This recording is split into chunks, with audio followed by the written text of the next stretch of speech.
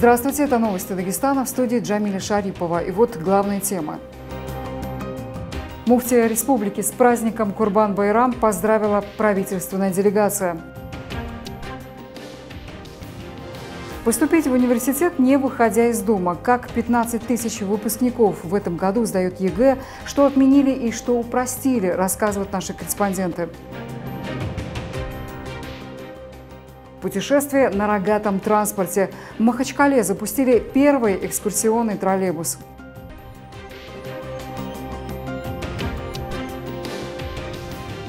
Представители власти региона поздравили муфтия Дагестана шейха Ахмада Фанди с праздником Курбан-Байрам. Делегацию возглавлял руководитель администрации главы правительства республики Алексей Гасанов. От имени в Рио главы региона Сергея Меликова он поздравил духовного лидера и в его лице всех мусульман с великим праздником.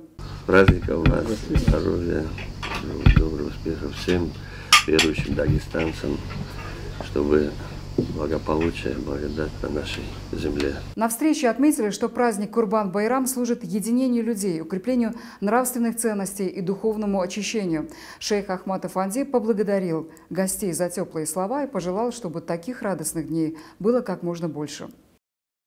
25 июля, в День военно-морского флота, Каспийская флотилия продемонстрирует свои возможности. Зрители смогут увидеть парад кораблей и военно-спортивный праздник. Военнослужащие покажут 10 эпизодов военных действий, а также отработают высадку морского тактического десанта. Динамический показ пройдет как на суше, так и на воде в Каспийске напротив кинотеатра «Москва». В праздничных мероприятиях примут участие более 200 военнослужащих. Будут задействованы более 30 кораблей, авиации, авиация и системы залпового огня «Град». В завершении дня прогремит праздничный салют. Генеральная репетиция парада кораблей запланирована на 22 июля. Единый лечебный комплекс планируют построить в Каспийске. Детскую и взрослую поликлинику на 500 мест, лечебные корпуса на 140 коек, а также дополнительную станцию скорой медицинской помощи. Эти объекты по проекту возведут на территории Центральной городской больницы.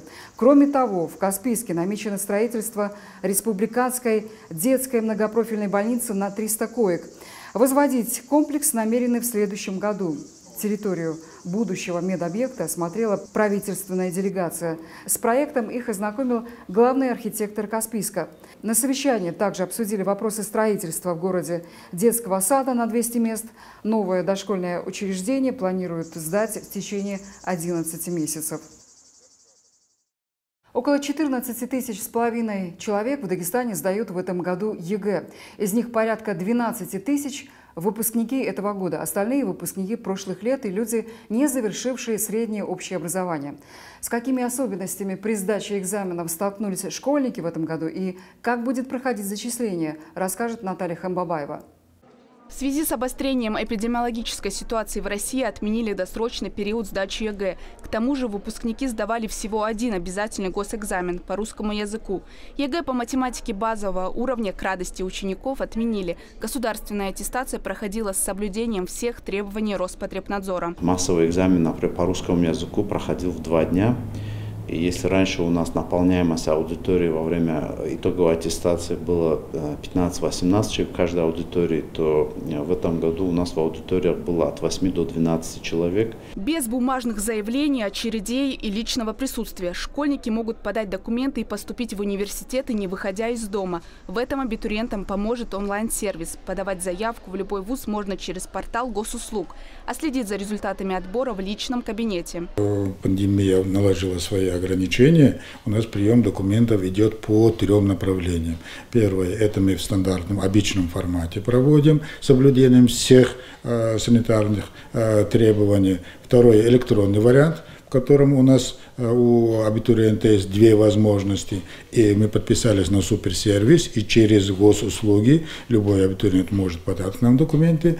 И через нашу электронную систему, через наш сайт также существует возможность электронной подачи документов. Ну и третий вариант, через обычную почту э, можно также отправить э, свои документы. Старым правилам документы можно было подать в пять вузов и в каждом из них только на три направления. Теперь же университеты сами принимают решение, каким будет максимальное количество специальностей для участия в конкурсе. Их число будет варьироваться от 2 до 10. Среди дагестанских абитуриентов остаются популярными факультеты экономика и менеджмент, юриспруденция, IT-направления и иностранные языки. Кроме того, многих интересует направление инженерного образования. Наталья Ханбабаева, Салман Гитихмаев, Магомед Магомедов. Новости ННТ. Махачкала. В регионе ввели обязательную вакцинацию от ковида для работников торговли и транспорта. Такие меры введены из-за неблагоприятной эпидемиологической обстановки. Так говорится в постановлении главного государственного санитарного врача по региону Николая Павлова. Постановляю обеспечить проведение профилактических прививок по эпидемическим показаниям против новой коронавирусной инфекции следующим категориям. Работающим в организациях, осуществляющих деятельность в сфере здравоохранения, образования, торговли, общественного питания, салонов красоты, транспорта общего пользования. В постановлении отмечено, что прививку необходимо сделать до 9 августа текущего года. Кроме того, обязательной вакцинации подлежат работники сферы почтовой связи, МФЦ, ЖКХ и энергетики. Помимо них сотрудники соцзащиты и соцобслуживания культурной сферы, театров и кинотеатров. В нашей республике количество одиноких людей увеличилось в два раза. Россияне побили семилетний рекорд по числу семейных разводов. Больше всего разводы участились в Ингушетии, Чечне и Дагестане. За первые пять месяцев текущего года разошлись более 250 тысяч супружеских пар. Такой рост коснулся всех регионов страны. Наименьшее количество разводов зафиксировано в Белгородской, Воронежской и Калининградской областях. Такие данные приводит международная сеть «Финэкспертиза». Махачкале начал курсировать экскурсионный троллейбус. Маршрут по городу на нем занимает 4 часа. За это время туристам предлагается посетить и осмотреть 43 объекта. В программу экскурсии входит посещение Джума мечети, музейного комплекса «Россия. Моя история», русского театра, городских парков и не только. Первыми туристами на маршруте стали мэр Махачкалы Салман Дадаев и руководитель Минтуризма Республики Имин Мирданов – Гости дали хорошую оценку организационному троллейбусу и отметили высокий потенциал столицы в развитии туризма. Данный маршрут э, будет интересен не только гостям и жителям нашей э, республики, а также станет интересным для дошкольных и школьных экскурсионных групп, когда дети, э, ученики, студенты смогут ознакомиться с историей нашей столицы, города Махачкалы. «Зеленый двор» – так называется всероссийская акция по озеленению и благоустройству дворовых территорий. Махачкала стала одним из десяти городов страны, которая приняла экологическую эстафету. Какой столичный двор привели в порядок, узнал Хамза Нурмагомедов.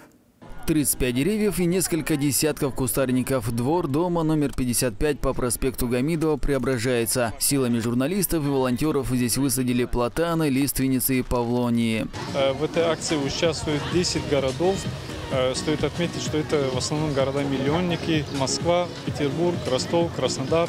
Нам удалось э, аргументным фактом включить в эту акцию и Махачкалу. Э, в рамках этой акции мы выбираем дворы, озеленяем, проводим большой масштабный субботник всю территорию очищаем и дарим таким образом двор э, горожанам. Это первый удачно реализованный проект, отметил представитель издания. Уже осенью этого года озеленять будут еще несколько дворов Махачкалы. Акцию поддержала и администрация столицы. Э, нуждается в поддержке э, в плане озеленения территории города. Очень малое количество зеленых насаждений на территории города осталось, так как город разрастается, плотность застройки увеличивается площади для озеленения уменьшаются. Поэтому мы пытаемся все свободные территории озеленять для того, чтобы, как говорится, ну, зеленое хозяйство – это легкие города. Двор привели в порядок. Теперь, уверены организаторы, и жильцы прилегающих домов продолжат ухаживать за зелеными насаждениями. Хамзан Нурмагомедов, Мурат Бигбарзов, телеканал ННТ, Махачкала. Двое дагестанских борцов-вольников стали бронзовыми призерами первенства мира. Турнир среди юношей до 18 лет проходит в эти дни в Будапеште. Третьи места в столице Венгрии заняли Хабиб Заурбеков из Хасавюрта, выступающий в весе до 65 килограммов, и Мустафа Гаджи Малач Дибиров из Кизляра, который выиграл бронзу в категории до 80 килограммов. Всего на мировом первенстве в составе сборной России выступали шестеро воспитанников дагестанских спортшкол. Трое остались без медалей. Еще один, Ахмед Мусаев из Хасавюрта, сегодня ночью оспорит золото в схватке с иранским спортсменом. Боец Ислам Махачев вошел в топ-5 рейтинга легковесов UFC. Другой спарринг-партнер Хабиба Нурмагомедова в обновленном рейтинге лиги поднялся на 4 позиции. Напомним, что в минувшие выходные в главном поединке вечера в Лас-Вегасе Махачев одержал восьмую победу подряд.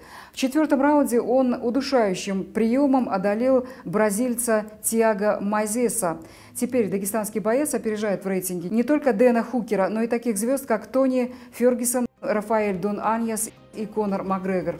Это все, о чем мы хотели вам сегодня рассказать. Всего доброго, до свидания.